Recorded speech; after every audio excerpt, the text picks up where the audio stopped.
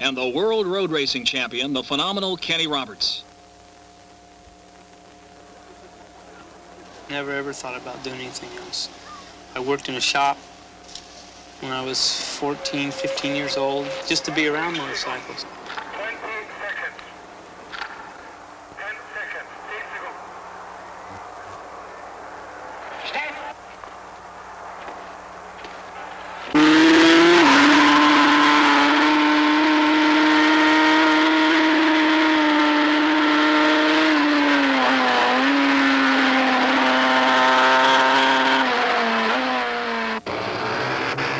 Kenny Roberts was just 21 years old when he became the U.S. Grand National Champion, the youngest champion ever. To win the national championship, you have to compete in four totally different types of racing. TT, short track, mile and half mile dirt track ovals, and road racing. From the very beginning, Kenny was great on the 135 mile per hour fairground dirt ovals. On the twisty TT course, nobody could touch him. But he had little experience at road racing. The fastest and most dangerous type of racing there is.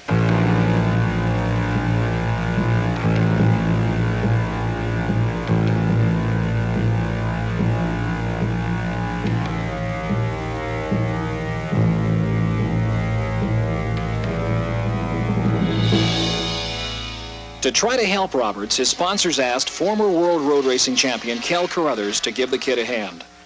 I, I can watch uh, what he's doing. I can watch what other riders are doing. And uh, I think Kenny is one of the few riders that does the right thing virtually all the time. Kenny had had little opportunity to road race, so he followed Carruthers around the tracks, learning what he could from the champion. But after only a couple of races following Kel around, Kenny started winning and leaving his tutor behind. His natural ability and dirt track aggressiveness made Roberts an instant road race superstar in the United States. His sensational knee-dragging style endeared him to the fans. In all, he won 28 national championship races, more than any other man in history. And that's why they call him King Kenny.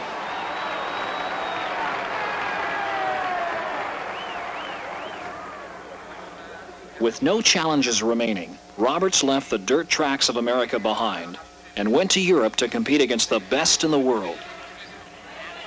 To Europeans, road racing is more an obsession than a sport. Some of the major races attract over 300,000 spectators.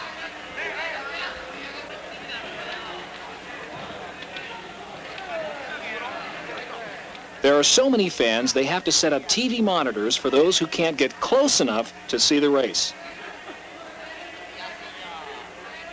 I'm stationed with the United States Air Force, and about a year ago when I read that Kenny was coming over to contest the World Championship, I extended my enlistment so I could stay and watch him compete.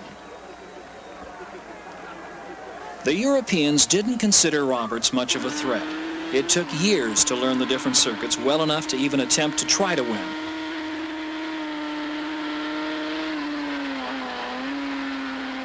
On the Isle of Man, the course wanders through 38 miles of backcountry roads and villages with more than 180 turns per lap.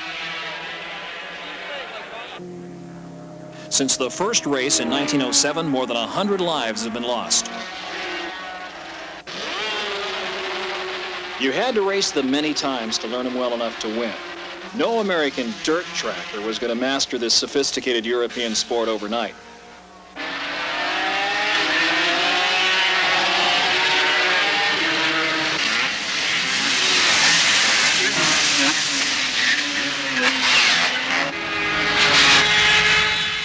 Even his sponsors didn't expect him to make much of a showing his first season, but they all forgot to tell Kenny he wasn't supposed to win. In the first three out of five races, Roberts blew him away, and the proud Europeans didn't like it. One thing. Uh, the other thing is that they they wouldn't talk to me, and they wouldn't they wouldn't uh, tell me why they didn't pay me. So I don't have to take their trophy. If I have to race here, which Yeah. they say I have to, then I have to race here. But I don't have to take their trophy. If they're going to be, if they're going to treat me that shitty, You know, I don't need the trophy. Kenny kept on racing and winning. He beat him in Austria, smoked him in England, and roosted him in Germany and Italy. His legend grew. The Europeans just didn't want to believe that an American rookie could do that to him.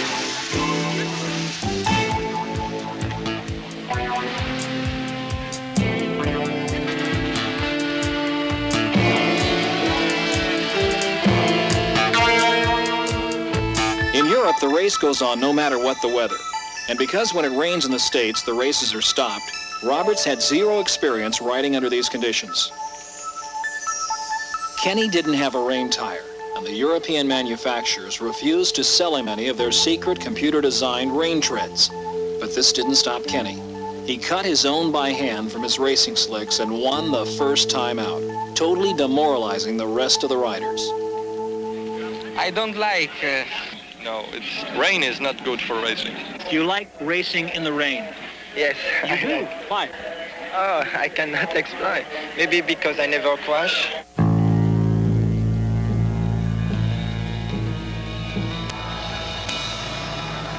Kenny Roberts raced the entire European GP circuit. And when the season was over, this young American superstar had won an incredible 12 out of the 18 races and the coveted title World Road Racing Champion. But perhaps his greatest triumph was winning the respect and admiration of the European riders and fans. Even the man he dethroned, two-time world champion, Englishman Barry Sheene. He's an exceptional rider, and I like racing with Kenny because he's he's clever, he's very, very skillful. There's a lot of guys that go quick, but I hate racing with them because you get alongside them and they don't give you any room, don't cut you any slack, as they say in America. And Kenny's not like that. I can race with Kenny, and if I beat him, I beat him through going quicker than he did. And if he beats me, he beats me through going quicker than I did. You know, there's no shutting the door and pushing me out or any kind of stuff like that. So, in his first year on the circuit, known as the World Series of Road Racing, King Kenny came home with all the roses. First year coming to England, to Europe to race, nobody really expected you to do well. I mean, everybody kind of felt, well, here's a cocky young Yank that really doesn't get a, he does well in the States, but he's not going to do too well in Europe. Well, I proved I was a cocky young Yank. I uh, also proved that uh, we could road race. The thing about going to Europe um, was that they didn't expect me to do well because I was the first year there and uh, I had tires that had never ridden in Europe. Goodyear had never been to Europe, so that's why they didn't expect me to do good. I didn't know the racetracks. What about the other rider? What about Sheene? How, how did they take to you? Well, Sheene was doing all the winning before I got there and doing all the talking. So all I had to do was start showing some results and then keep him talking. And uh, he would eventually psych himself out, as it turns out, and uh, be so psyched out that he was letting riders beat him without, without even his talent. Uh, first time you raced in the rain, a lot of people thought you were completely crazy, yet you did very well. Well, the first time I raced in the rain, I raced in Europe in the match races. And uh, I won. So, of course, they knew I was crazy. I confirmed it the second time I raced in the rain, and I fell off right down the main straight, about 130 miles an hour, insisting that I had to set the track record in the dry, just to show them that I could, could do it. And uh, in front of uh, thousands of people, uh, doing my slide on my back and slide on my foot and slide on my butt for a while. Uh, and they were all awed at this. They didn't, uh, here I am right in front of them crashing. I hit the hay bales and the bike bounced across the track. And well, I got up and went, wow, that was neat. all these people looking down on me going, they just didn't say nothing. And I saw one girl look at her boyfriend and say, he is really crazy, is Some would say you're an Iron Man in racing. Do you consider yourself an Iron Man? Well, I'm not scared of anything I can see, anything I can do personally. Um, it's the beyond I don't know. Now, take me skin diving, where there's just a big black wall out there, and I know a fish wants to eat me. I know there's a fish out there that wants to eat me. I don't want to be down there. It scares me to death. I couldn't do it. But 180 miles an hour on a motorcycle in the rain doesn't problem. frighten you. No problem. Absolutely no problem. That's why I do it.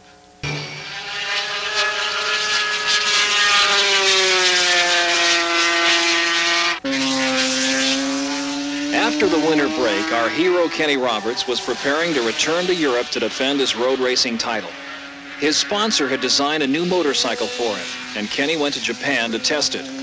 Then, six weeks before the first Grand Prix, disaster struck. There was a, a real fast right-hand corner coming onto the straight. It's a Yamaha test course. And um, as I entered the turn, maybe 120 miles an hour, the front wheel went away from me. And uh, next thing I knew, I was up against the uh, guardrail. And I hit the guardrail with, with my back. And uh, at that, I paralyzed the insides, ruptured my spleen, uh, fractured my left foot, and uh, I had a compression of the 12th, 11th and 12th vertebrae. And they went in and operated on the spleen and uh, put me in a cast, a couple of casts, and in three weeks uh, sent me home. Everyone thought Kenny was through. But just six weeks after his near-fatal crash, he was back on the track and ready to race. No one thought Roberts would be physically strong enough or psychologically prepared to do battle with the men who wanted to take his title away from him. He was going to face four major problems during the upcoming season. One, even when at his best, Roberts was not good when push starting his bike in the European-style run and bump. Robert's second problem was Wil Hartog, the Dutchman. Third, Englishman Barry Sheene, who desperately wanted his title back. And Kenny's fourth problem was the handsome and daring Italian, Virginio Ferrari. Now, with his serious injuries, the weakest part of his talent would be magnified. In a sport where a tenth of a second can mean the difference between winning and losing.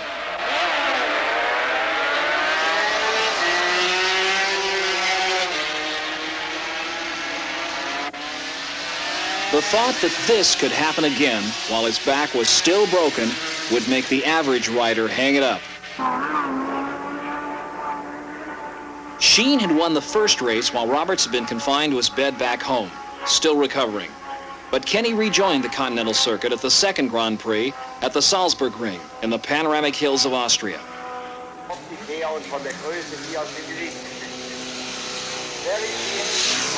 Everybody thought Kenny had just come to watch. They were shocked when he put his leathers on over a back brace and was going to try and race.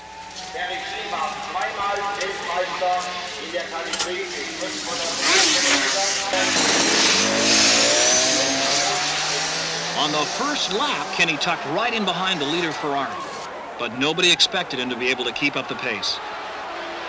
They didn't think a man could come back so soon after such an injury. Breaking my back was something for me to overcome, to make me go on, to make me better than I was before, Roberts told him. Before the race, they'd asked him if he was going to ride as hard as he used to. He told them, nope, I'm going to ride harder.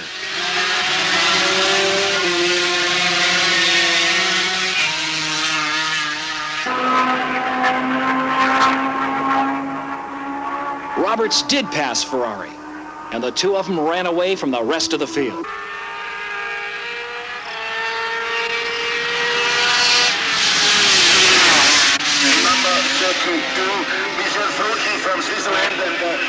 Kenny won the race, once more doing what the Europeans didn't believe could be done.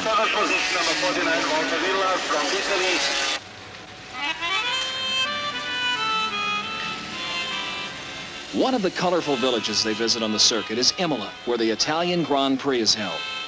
Imola moves as slow as a bocce ball until race day.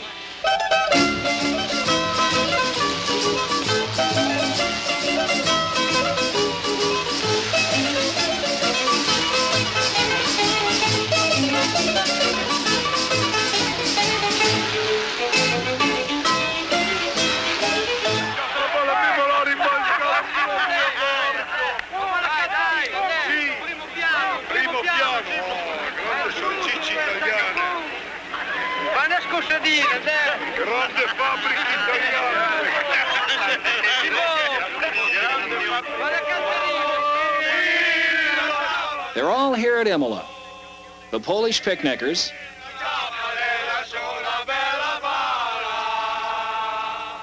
Russians in their motorhome, and the proper British.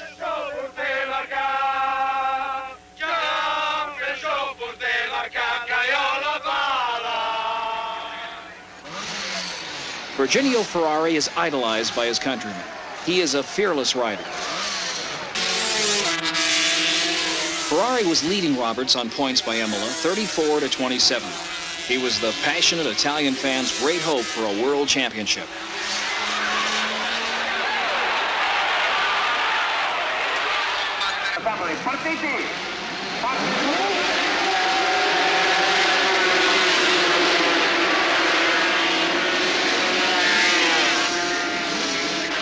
His back still weak, Roberts got off to the slow start he'd expected, but he made up ground fast.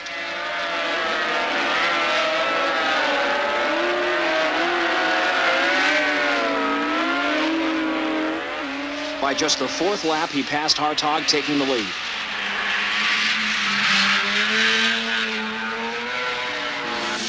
By the time he crossed the finish line, he had lapped most of the field and showed the Italians that Roberts was back.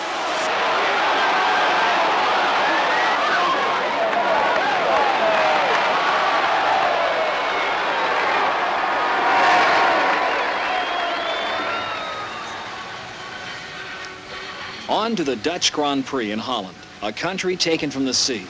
And every June, the town of Assen is given back to a sea of motorcycles.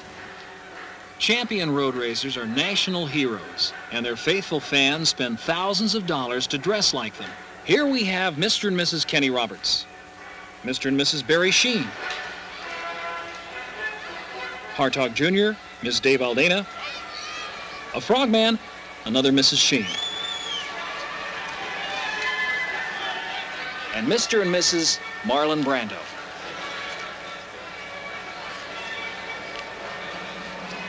Dutchman Wil Hartog was the heavy crowd favorite at Assen. You must be the tallest racer around. You're much. Roberts is like this, and you're so tall. I'm sorry, and I think that's the reason I'm not world champion this year.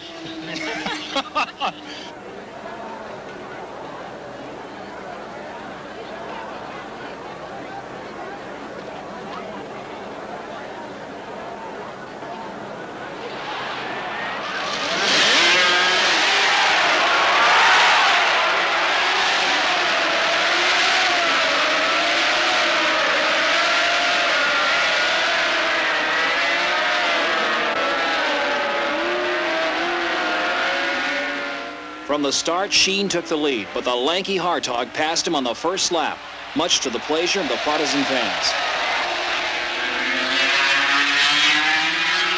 Roberts struggled along in eighth place. His suspension had failed, causing his bike to shudder terrifyingly on the fast bends.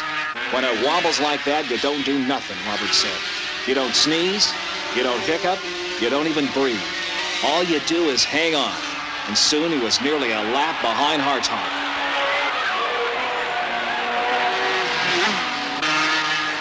Ferrari was on their tails. First he picked off Sheene, then Hartog,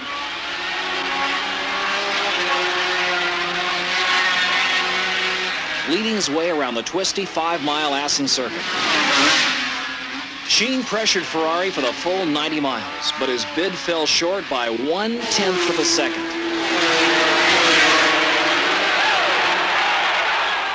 Ferrari won the second Grand Prix of his young career. Following Sheene, Hartog had taken third to uphold Dutch honor.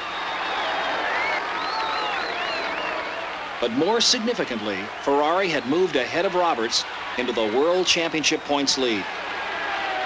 In the end, it came down to the British Grand Prix at Silverstone. Winning here would mean the World Championship for either Roberts, Sheene, Ferrari, or Hartog.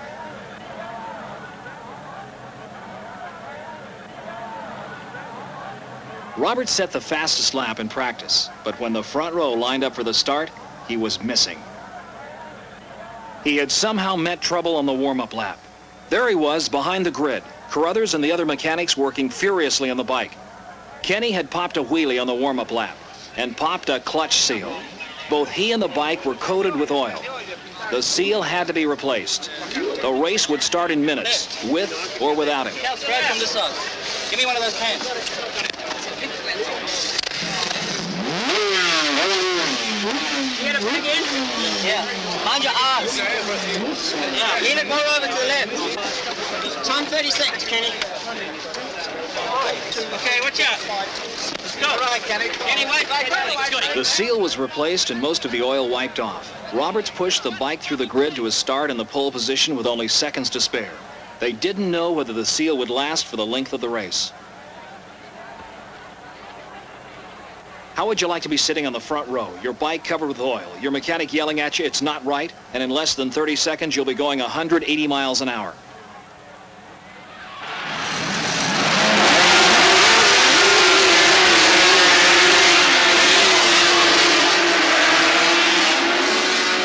Hartog had used his long legs to get a perfect run and bump start. He spurted into the lead as they swept around the bend called Maggotts Curve.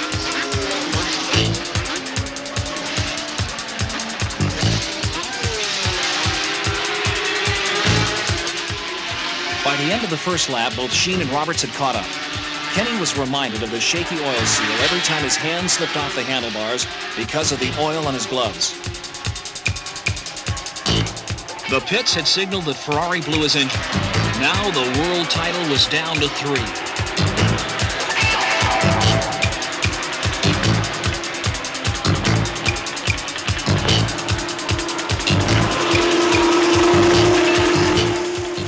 10 laps, Hartog led Sheene and Roberts, but they ran away from him. And now it was down to two.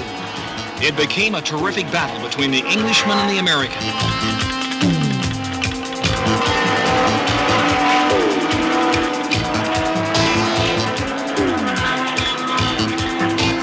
Kenny had the lead on the last lap, and Sheene planned his move on the last turn, a 130 mile per hour sweeper. As they approached it, he took his best shot, but it missed by a wheel. And Kenny Roberts was once again the world champion. Thank you. Thank you. Good luck. Thank you. Hey. Thank you.